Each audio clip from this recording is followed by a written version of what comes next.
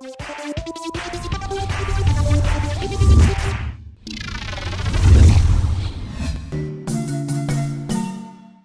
we'll make a Christmas pop-up card. You need two cards, one for the front and one for the back. Remember that both the sides should be of the same size. In the front card, need a Christmas tree printed on it and the back just a normal one. So first let's take the front card. We'll take the help of a ruler and a paper clip and we'll scroll down the line like this.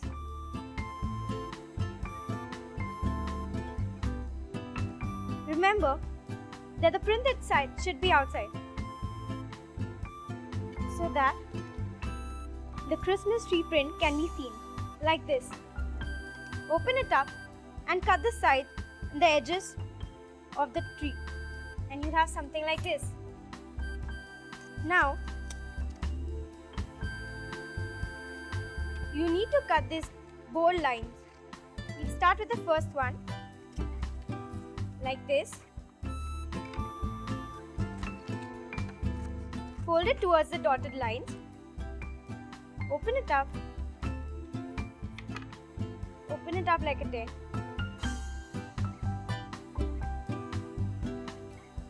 Fold it. And it's a start with the Christmas tree.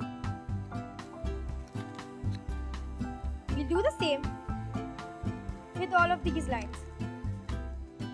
Cut these lines like this.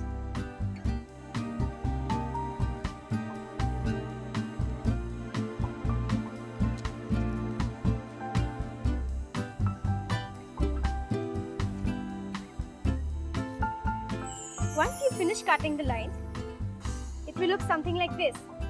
So now all you need to do is fold it towards the dotted lines. Like this.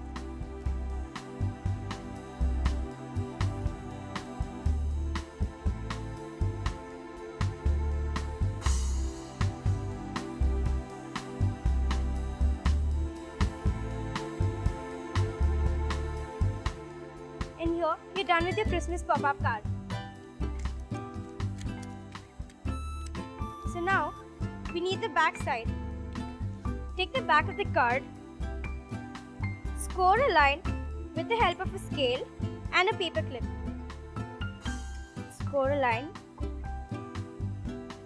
fold it inwards.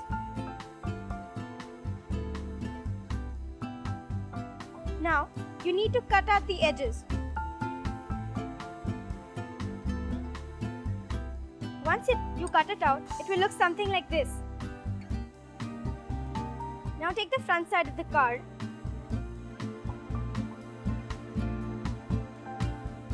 You can glue up the back side of the card like this. Take the back side of the card and remember to keep the line folding it inwards.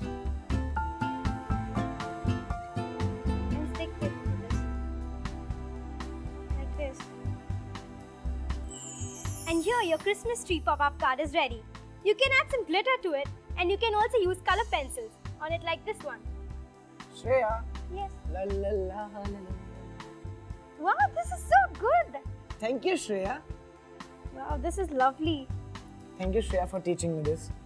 I hope you enjoyed making your own Christmas card.